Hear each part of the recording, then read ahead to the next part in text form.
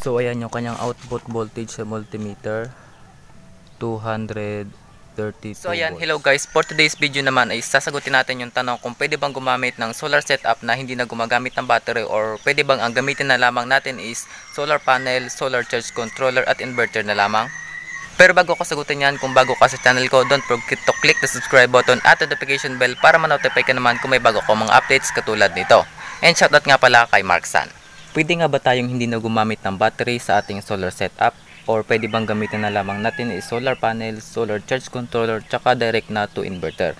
Pero bago ko bigyan ng sagot kung oo o hindi, ay ipapakita ko muna sa inyo yung ginagawa kong experiment. So disclaimer lang, this is just based on my research and experiment. Wag basta-basta gagayahin dahil ito ay nakamamatay. Although hindi naman lahat ito is nakakamatay, ang deadly lang talaga dito is itong inverter kasi as we all know naman, ang inverter ay nagbibigay ng hanggang 300 volts which is deadly. Kaya ingat-ingat lang kung gagayahin natin. Para sa mga beginner at wala pang alam sa ganitong setup, so ito yung aking experiment na ginawa. So before that, alamin muna natin kung ano ang mga ito.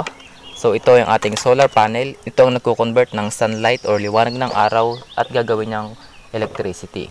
And meron din tayong solar charge controller. So ito naman is kino-convert niya or pinapahina niya yung voltage galing sa solar panel gagawin niyang 12 volts to 14 volts papunta naman sa ating battery. And yung ating battery naman, siya naman yung mag iimbak or siya yung magiging storage ng power na na-convert ng ating um, solar panel at ng ating solar charge controller. And then ito naman yung ating inverter, ito yung ginagamit naman ng mga malalaking setup para ma-convert yung 12 volts galing sa battery para magamit natin sa ating mga appliances katulad ng mga TV, electric fan, and so on. So for example, I have a 100 ampere hour battery. So example lang natin yan. So sa ganyan setup is nagagamit natin siya sa mga ating iba't ibang appliances. So ngayon ang tanong is gagana ba ito kung aalisin natin ang ating battery? So para malaman natin yung sagot, mas maganda kung susubukan natin.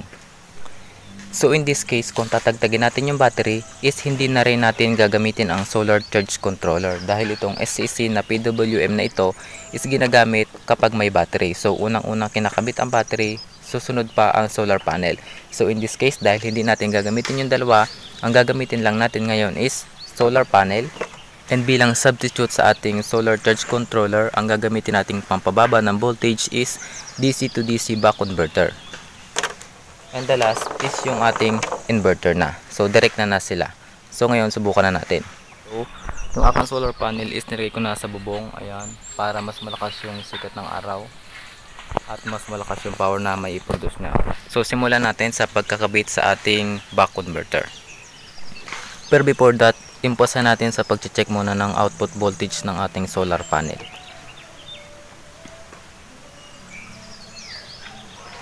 So ayan, nagbibigay yung solar panel ng 22 voltage. So ang gagawin ng ating back-to-back -back converter o DC to DC converter is pabababain niya yung voltage. And ang maganda dito is adjustable siya. Kung hindi nyo pa alam itong back converter na ginagamit ko, meron akong video nito, panoodin nyo na lang. So ito yon. So ikakabit ko na siya sa input. So patayin ko muna dito sa kanyang switch. Nilagyan ko siya ng switch yung solar panel tsaka fuse para mas safe at mas madali gamitin.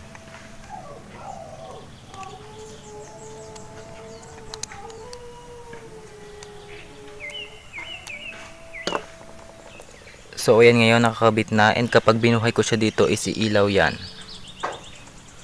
So ayun umilaw na yung back to back converter. Ngayon check ko naman yung output voltage dito sa back converter kapag dito sa inverter na ito, kailangan niyang voltage is hanggang 10.5 or 10.50 volts DC lamang para makapagbigay siya ng stable na 220 volts. Kapag tumaas siya hanggang 12 volts, is papalo siya dito ng 300 volts. Kaya, kaya ang gagamitin kong voltage is 10.5 or 10.50 lamang. So, ayan yung voltage na 10.53. So, ngayon, ikabit ko naman yung sa load side or sa output niya yung ating inverter. So patayin ko muna dito. And then ikakabit ko na siya dito.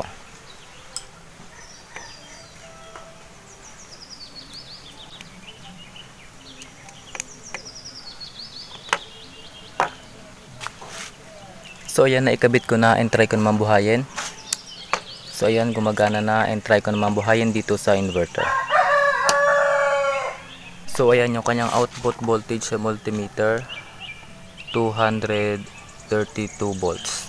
Naka AC na siya kaya pwede natin siyang gamitin sa ating appliances. So try ko naman siyang gamitin dito sa mini pan.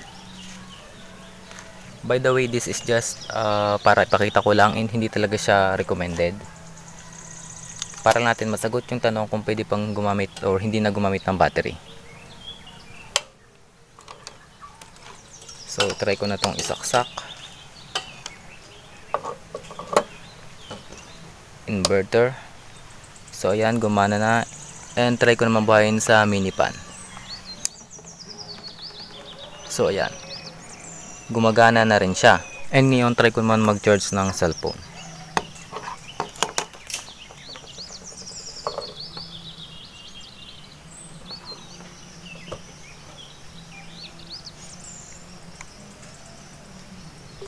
So ayan nag charge na rin So meaning gumagana talaga kahit walang battery. So sa sagot sa tanong natin kanina na kung pwede bang hindi na gumamit ng battery, so ang sagot dun is oo pero hindi ito recommended because marami tayong problems na maaring ma-encounter dito. So number one kapag gabi hindi natin ito magagamit kasi nga walang sunlight. Pangalawa, dahil hindi naman palagi matingkad yung init ng araw or unstable yung ating sunlight, is unstable na rin ang magiging kalalabasan ng ating power or magpapaandap-andap na lamang yung power ng ating inverter. And pangatlo, yung ating inverter tsaka yung ating device na ginagamit dito is mas mataas ang tsansya na masira dahil sa continuous power interruption or yung papatay-patay na kuryente. So that means hindi talaga ito recommended.